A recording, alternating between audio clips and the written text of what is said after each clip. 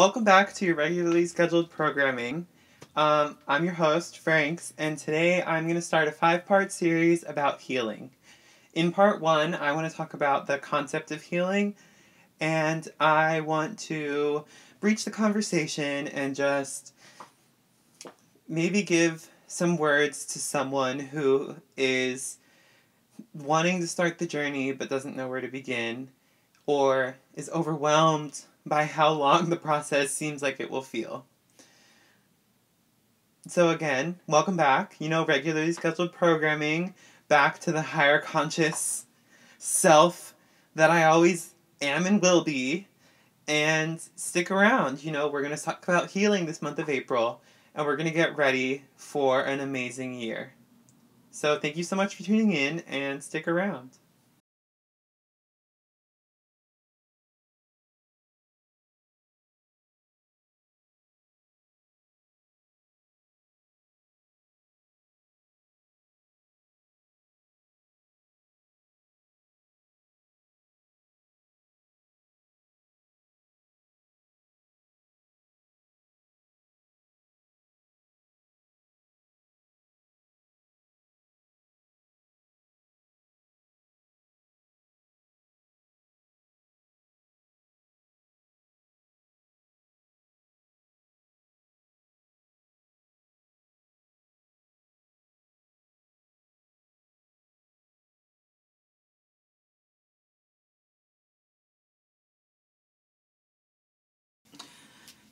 Hello, and welcome to a very special. Starting that over. Hi, welcome back to your regular, regularly scheduled programming.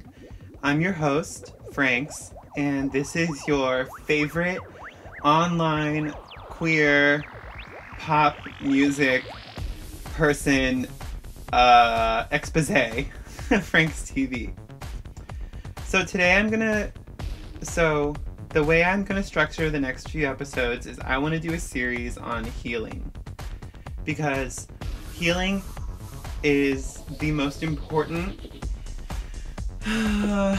maybe like journey that many queer people, non-queer people, just everybody in general. I think it's one of the most important things that we can that any of us can really embark on.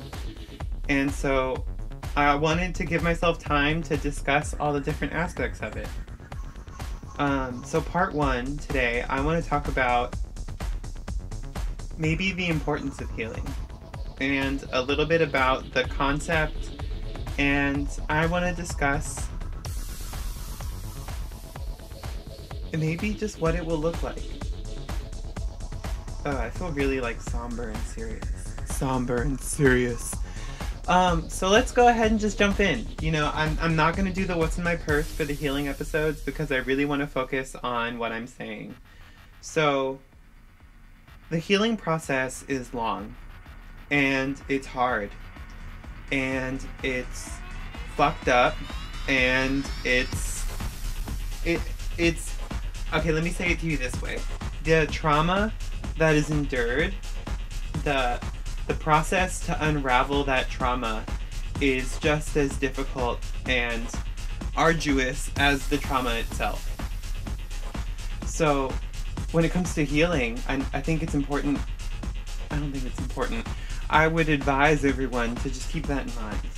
To know that when you start the process of healing, it's not going to be something that you deal with overnight. It's not going to be something that's, okay, one and done, and then a year from now you're perfectly healed. It's an ongoing process. Just like I said in the coming out video, healing is something that you just continue to discover more and more the ways that you can heal. And there are multiple aspects to it.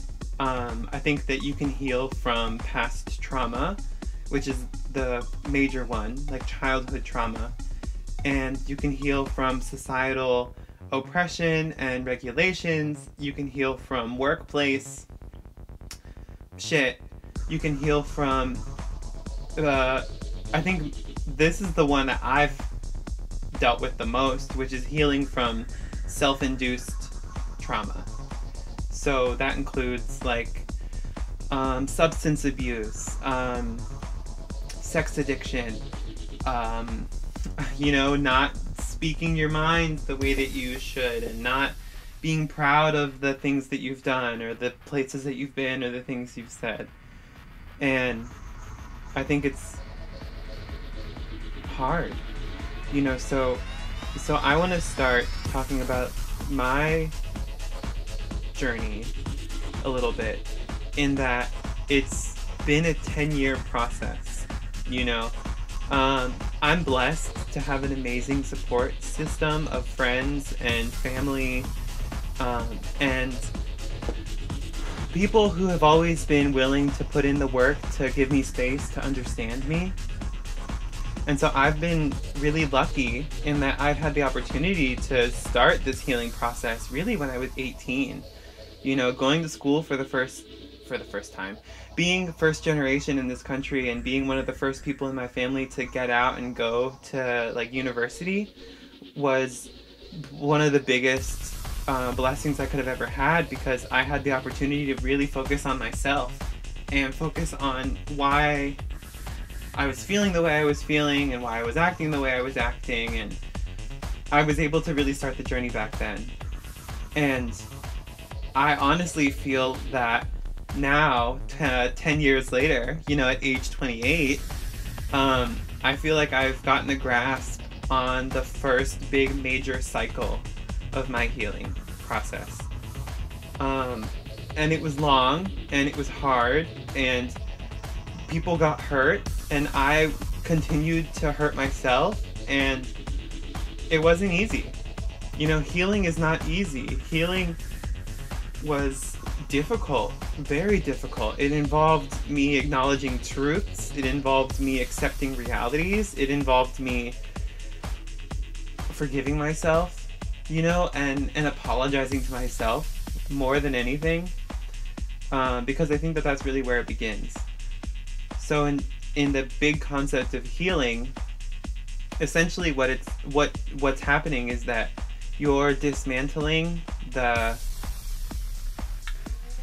the the like web and the the the, the delusions. You know you're you're revealing the illusions that you've created for yourself. And that's really what it is is that you've created for yourself. It's about accepting responsibility. You know, step one in this major healing process is really about accepting responsibility. It's about acknowledging the ways that you are who you are and acknowledging the ways that systems and societies have set you up to be and accept certain things.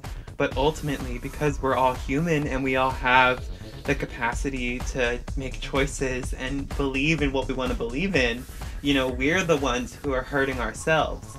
I can't place blame on someone else for the fact that I wasn't loving myself properly. Do you know whose fault that was? That was mine. And that's very plain. So, healing, I think there's a lot of different avenues that one can take to healing, um, to get back to the higher concept of healing. And it's different for everybody, literally you could be twins and have the exact same situations, same everything, same body, same face, same, same, same, same everything as somebody else, and your healing process is still going to be very unique to you. Because something that I think Brink comes in here is the concept of the truth. And there is an ultimate truth that we all abide by. But everyone's, and I think I even said, no, I'm, i said this in a video that I'm not going to post because I wanted to start over this whole little series, but um, the truth is is different for everybody, and so it's funny because we want to believe that the truth is black and white, but really the truth is gray because the universe is gray, and there's no such thing as like dichotomy or like by whatever like double-sided situations. It's not a thing. Because because even when i do what's right for me it does it isn't like it's impossible to do something that's inherently good because somebody will always suffer because of the nature of the structures of this reality. So it's it's not right to measure yourself. It, it's basically, I'm talking about expectations. When I talk about the truth, I'm talking about expectations. It's that your expectations have to be shifted. You have to shift your expectations to understand that you do have to be kind of selfish and you do have to be self centered, but it can't come with the delivery of ego and um, self induced delusions. It's like a complex but simple thing to understand in that my truth is my truth, but someone else's truth is their truth as well. And there are overlaps, and there are moments where you can communicate things back and forth, but ultimately, your life is yours. And healing is about understanding the responsibility and the like the nature and the simple facts that are yours. So, the concept of healing is tough. You know, I think everyone has to heal to a certain degree. And getting back to I'm all over the place. Getting back to the to the processes, it's different for everybody. You know, some people find healing through religion. Some people find healing through, you know, um, creative outlets and expression. Some people find healing through conversations. Some people find healing through knowledge gathering and academia. It's different for everybody. And no one journey is more or less influential or powerful than any other journey, and no body and no system is more or less important. So when I breach healing, I want to say that it's going to be a process. It's going to be long. It's going to be hard. Days are to come where you just want to cry and you just want to give up and you just want to let it all go. And that's normal.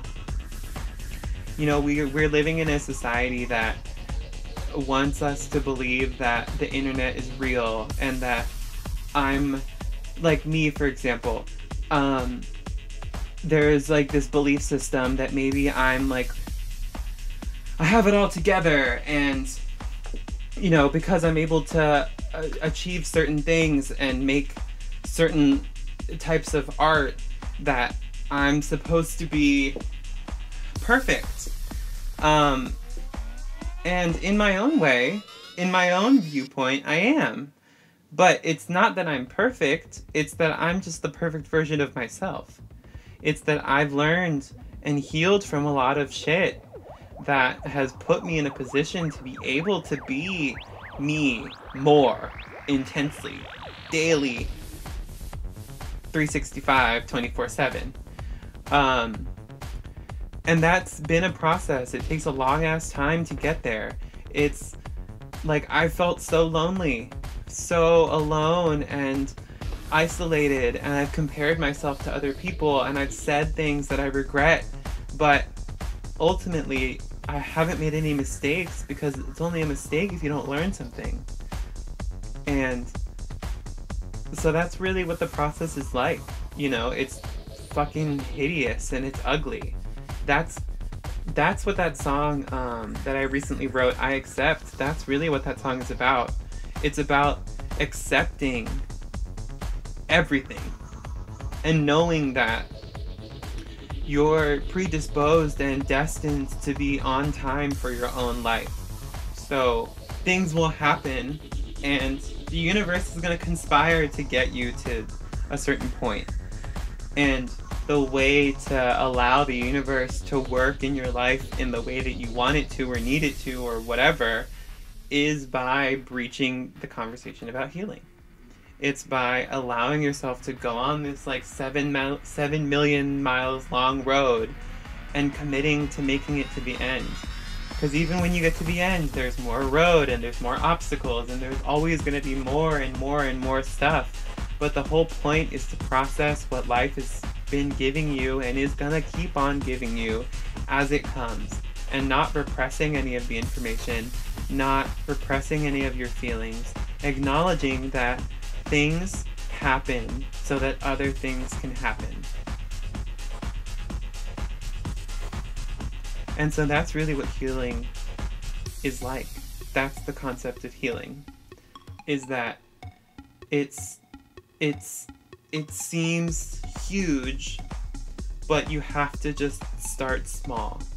You know, um, you can't stay stuck in your trauma, you know, trauma bonding and excessive boundaries and close closing of your heart and closing of your walls and closing of your spirit. That's not why we're here.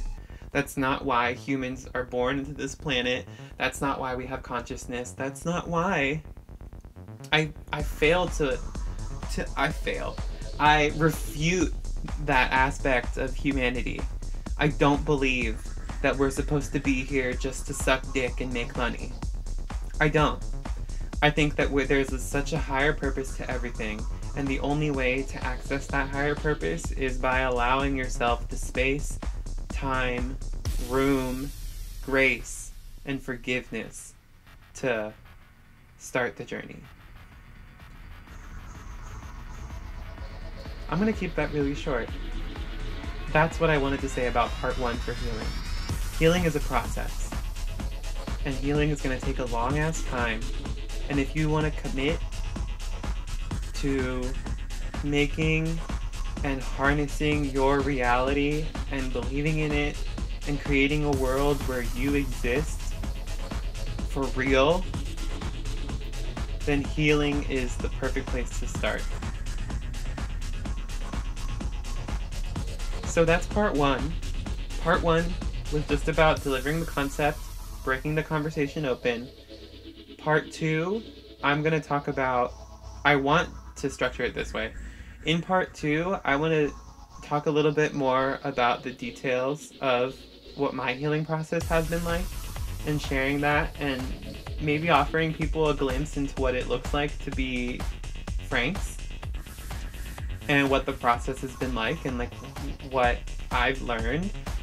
Part three, I want to talk about society and structures and the dismantling of those things, especially when it comes to interpersonal healing.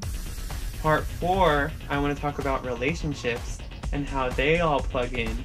And in part five, I want to talk about my vision for the future and how healing is really the key to getting us all to that future. So, this is the month of April. You know, it's spring, summer's around the corner. It's been a tough year for all of us. And if I can do anything, I want to be here to help guide us all through the ascension into the future. So thanks for watching. welcome to my welcome back to Serious Mode Franxx. And stick around, you know. This is part 1. Part 2 will be up next week. And I appreciate everyone just taking a second to hear what I have to say. Thank you. Bye.